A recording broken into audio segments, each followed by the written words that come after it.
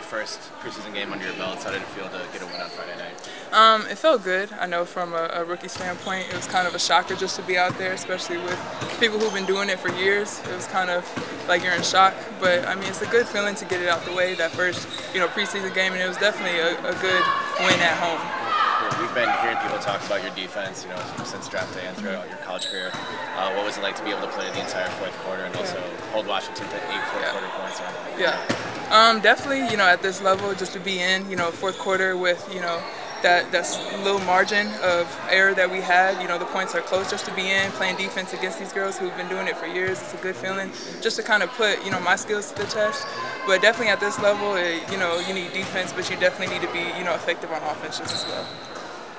How's the transition been from college to the WNBA and playing right after your season just ended? Yeah, I will say, you know, playing for Dawn, it has made it a hundred times easier. I will say that I definitely think sometimes the coach just definitely matters. I see a lot of similarities between them. They're they're good friends, so definitely drills and you know defensive habits they're the same. So I think that definitely helped me a lot, and it wasn't as hard, but it's still you know challenging, especially mentally.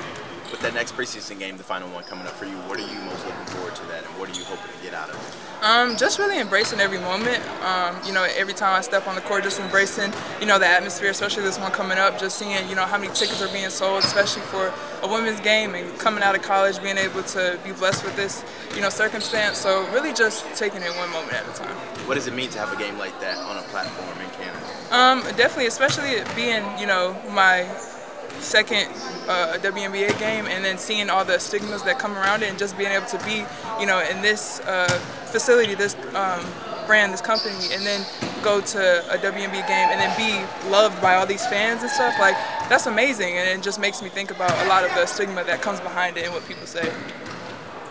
What was it like playing in front of Lynx fans for the first time? They're loud. They definitely, you definitely hear them. You're taking the ball out. They know your name. They know where you're from. They're always cheering you on no matter what. So it's definitely positive vibes no matter what. How do you guys, how do you stay focused on not worrying about the depth chart or making the roster, but just staying in the moment and keeping it day by day?